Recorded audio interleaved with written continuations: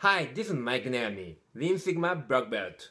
Today, I would like to talk about value stream map that the Toyota production system created.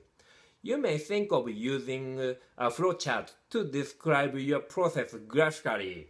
However, I rarely use it for current situation analysis because it requires us to focus on details in the process.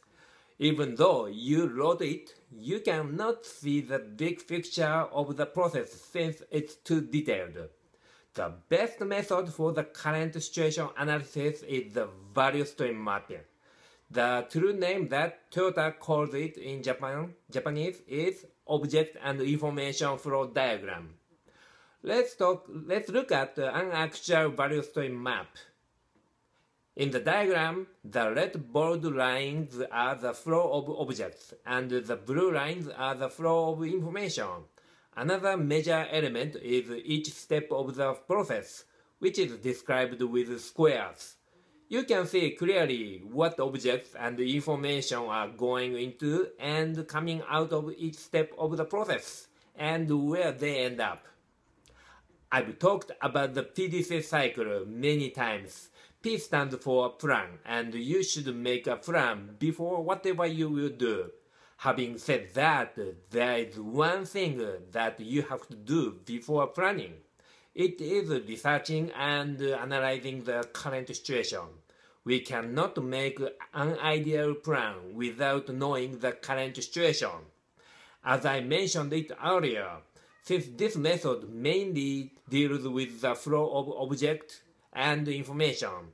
It will describe the big picture of the target process, balanced with details. Since there is no need for thorough research and you can write it in a short amount of time, it is a great tool for the defined phase in a Lean Sigma project where you want to know the current situation. After completing your project charter, WBS, and value stream map, show them to your stakeholders. Your project will be clarified and made official. There are two things that I would like you to try by referring to this current process value stream map. A value added, non-value added analysis and an eight waste analysis. Gather your front uh, line supervisors and have them find any waste that won't give you any value to your customers by referring to this diagram. Also, you may find some area where each supervisor has different perceptions. If so, most likely the frontline employees are facing some kind of problem every day around the area. You can also apply this method in the analyze phase, where you design new improved process.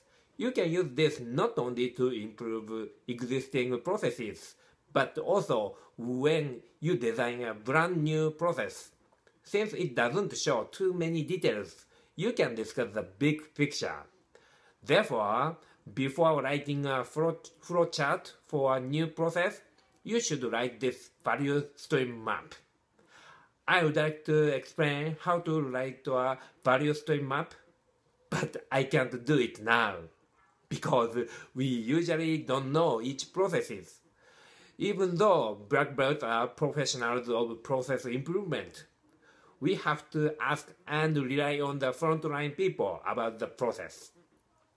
It is best to conduct the SIPOC analysis with the frontline people with this analysis, you can organize all inputs and outputs from each step of the process very easily.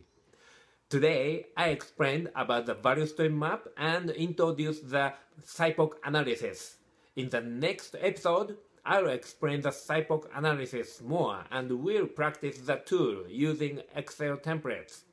Thank you very much for viewing. If you like my videos, please click the subscribe button. Thanks.